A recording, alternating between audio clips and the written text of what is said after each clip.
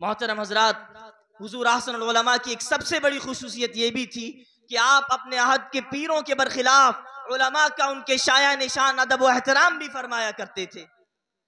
उर्स मुबारक में ये मंजर दीदनी हुआ करता था और आज भी आप देख सकते हैं, ये मंजर दीदनी होता था कि हुजूर हसन खुद और आपके खानवादे के तमाम अफराद ज़मीन पर तशरीफ़ रखते थे और किराम तख्त पर बैठा करते थे।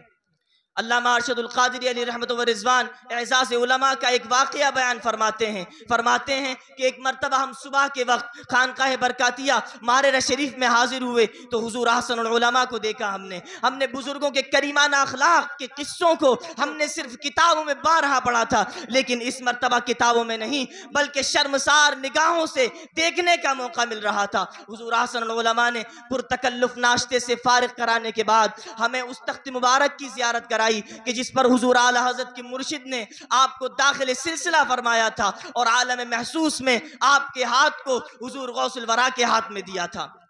इसके बाद हमें उन खलव खलबत कदों की जियारत कराई कि जहाँ साल साल की इबादत और रियाजत के ज़रिए सलूक व मारिफत के मकाम तय कराए जाते थे। इसके बाद अल्लाह अरशदुल्कादरी फरमाते हैं कि जब हम रुखसत होने लगे तो हुजूर हसन ने ज़बरदस्ती एक लिफाफा हमारी जेब में डाल दिया। हमने बहुत इनकार किया तो फरमाने लगे, मौलाना रख लीजिए, ये इस खानका की रिवायत है, यही इस खानका की रिवायत है। हमने मजबूरन रख लिया और जब बाहर जाकर देखा तो उसमें पाँच पाँच सौ के नोट थे। इसके बाद अल्लाह मार्शदुल कादरी फरमाते हैं कि मैं रास्ते पर यही सोचता रहा कि हुजूर हसनुलमा के इस जुमले का आखिर मतलब क्या है कि इस खानका की यही रिवायत है।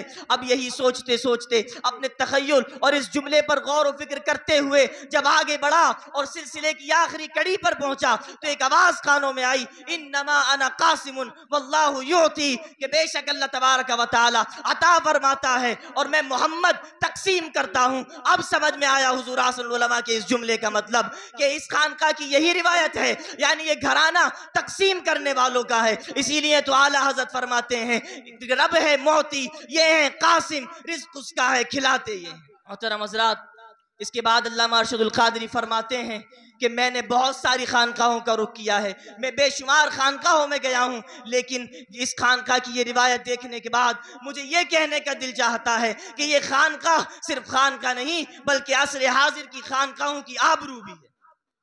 हौसला मजरात आखिरी वाक़ बयान कर कर मैं रुख्सत होता हूँ।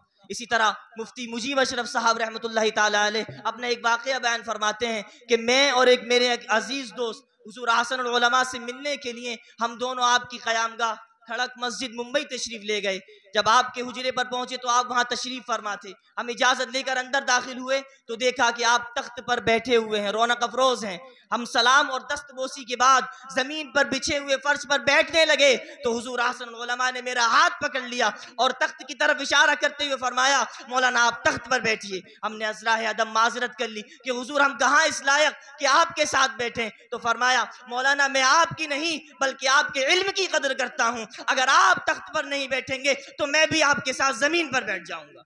अब इसी आलम में हजूर हसनमा का कहा हुआ, ये शेर पढ़िए, फरमाते हैं, ये बस में इश्क है, यहाँ सरफ दिल की जाँच होती है, यहाँ पोशाक से अंदाज इंसान नहीं होता। ये वो खानका है कि यहाँ पोशाकें नहीं देखी जाती, बल्कि दिल देखे जाते हैं। अरे, ये दिल ही तो देखे गए थे कि जब हजूर आला हज़रत यहाँ पर आए थे तो आपको एक आन में यहाँ खिलाफत दे दी गई थी और नाब से पहले ऐसे भी आए थे कि जिनके दिल आप उनके कपड़ों से भी ज़्यादा साफ़ शफाफ हुआ करते थे। लेकिन नहीं नहीं जिसके दिल अच्छे होते हैं, उसी की यहाँ पर वैल्यू हुआ करती है। मोहतरम हजरात, अल्लाह अकबर, ये आलम था हुजूर हसन के, अदब व एहतराम का के साथ। बावजूद इसके कि हुजूर हसन की फ़काहत और आपके इल्म का ये आलम था कि आप अपने दौर के उलमा और मशाइ के मर्ज आज़म थे, आपका कौल कौल फैसल हुआ करता था। बस इन्हीं चंद बातों के साथ मैं अपनी गुफ्तु ख़त्म करता